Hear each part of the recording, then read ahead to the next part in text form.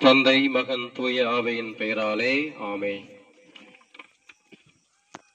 ஆண்டவருடைய பெயராலே நமக்கு உதவி கொண்டு அவரை விண்ணையும் மண்ணையும் படைக்கிறார் ஆண்டவர் உங்களோடு இருப்பாராக. ஜபிப்புமாக.